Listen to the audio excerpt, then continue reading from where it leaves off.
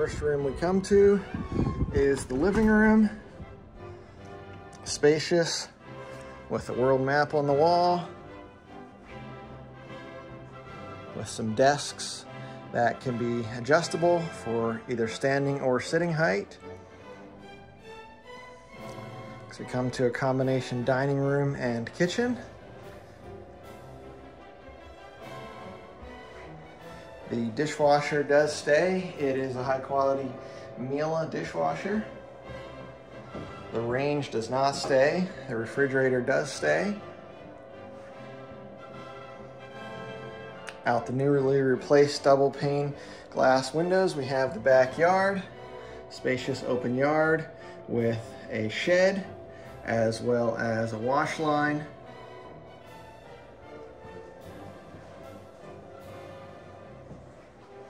Back the hall,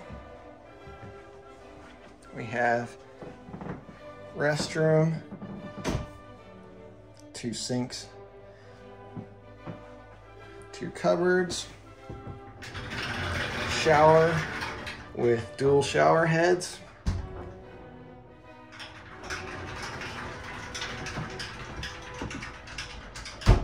Closet. Two bedrooms.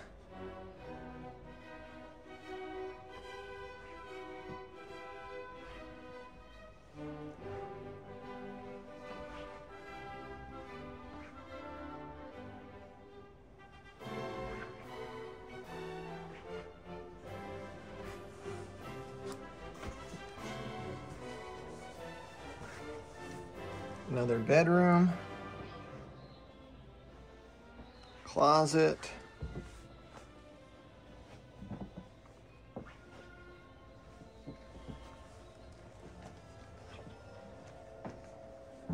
Finished basement.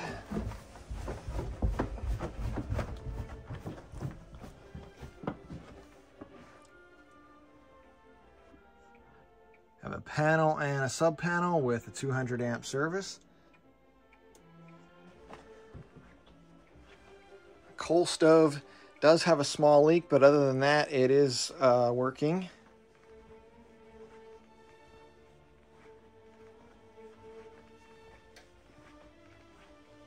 Utility room. The washer and dryer are not staying.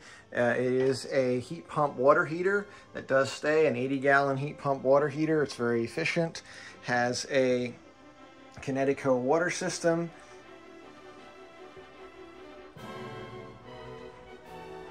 as well as a reverse osmosis system.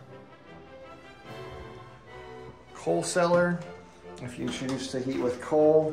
No entrance to the outside though. Also have an active radon system to reduce radon in the basement. And that we have tested that. The radon levels are acceptable after that system is installed. A system for keeping the basement dry. There is a drain around the perimeter with a sump pump that has done very well at keeping the house, the basement dry. Only issue where we did have a little bit of moisture is this back corner. Seems that the spouting needs a little bit of work. So we did have a little bit of moisture. We repaired the drywall, but the spouting does need some work in order to just keep that from coming in again.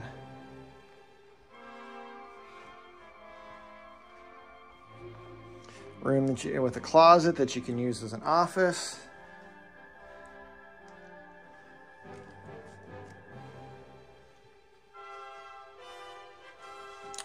Fake window to the outside. Got some decorations on the wall, kind of a sea theme in this room.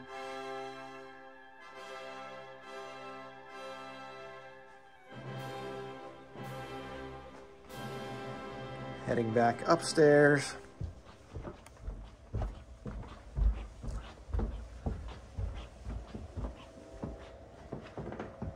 And most all the house is heated and cooled with smart mini split units that were recently installed.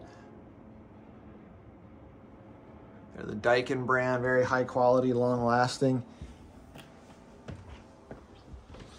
Upstairs, two additional bedrooms and a bathroom.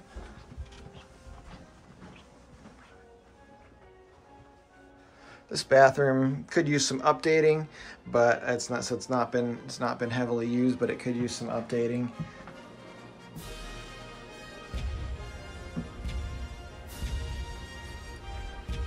Pretty large bedroom on this side. Two windows. Nice sized closet. Sea theme here with fish on the wall. Painted not that long ago. The other bedroom we've just used for storage, so it's not been updated in a while, but it could be um, could be another bedroom for a fourth bedroom.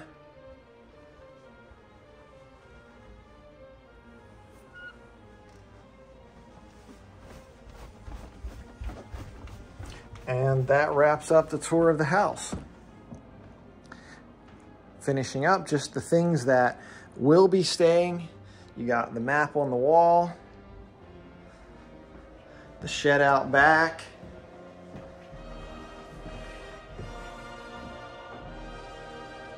The play set and the dog kennel will not be staying. Again, the dishwasher and the refrigerator are staying but the range is not staying. Quick peek in the garage. Mostly storage there at the moment. Double pane windows, recently replaced. Front door has a Yale Smart Deadbolt lock that can be locked and unlocked remotely.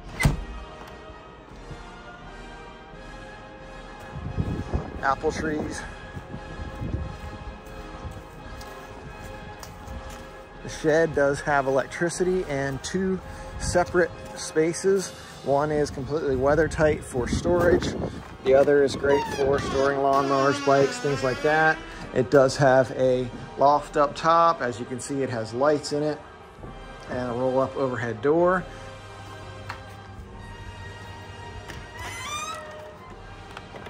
There's an additional door back this side. Also with a loft. And this one has no roof vent so that it's completely weather tight for whatever you might like to store. Also some bamboo. Section of wood chips.